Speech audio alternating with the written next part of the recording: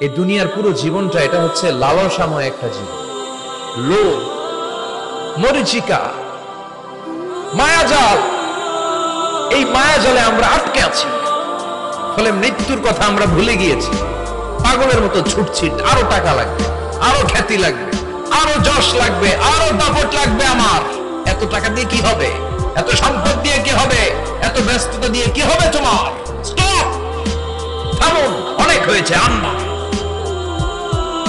আম্মা থামুন take a rest take a breath think about death think that you have to go back to your Lord.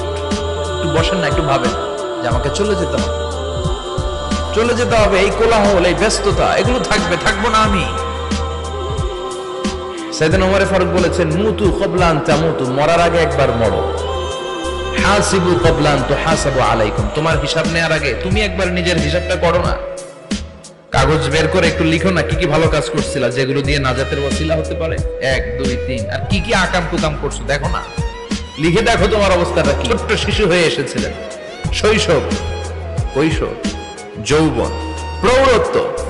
আগে ছিলেন single, বিয়ে করে হয়ে গেলেন ডবল। এরপরে আল্লাহ আপনাকে একটা মেয়ে দিল।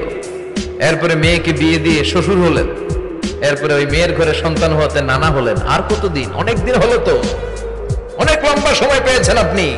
থিঙ্ক অ্যাবাউট ড্যাথ এবার যাওয়ার কথা ভাবেন। আখেরাতের সামানের কথা ভাবেন, ফিরে যেতে হবে।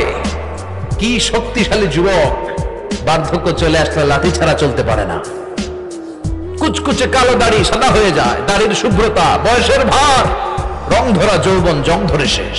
ঠিক কিনা this is the circle of life যুবক ভাইয়েরা এটাই জীবন। চলে যেতে হবে। কেউ থাকতে পারবে না, ঠিক কিনা